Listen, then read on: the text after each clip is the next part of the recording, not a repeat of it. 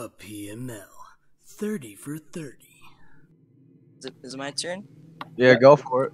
Uh, hey, what's up? I'm Jake. Uh, I'm the owner of the Bills. I'm the newest. Well, I guess I'm kind of tied with the Jets. I'm one one of the newest members of the league. Uh, I'm this- I'm 15, so I'm probably one of the youngest members. I, I like to think that makes me like an underdog.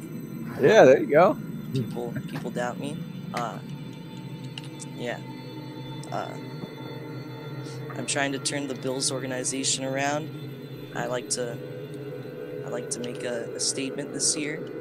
What if I told you Jake's Bills made one of the biggest statements in PML playoff history?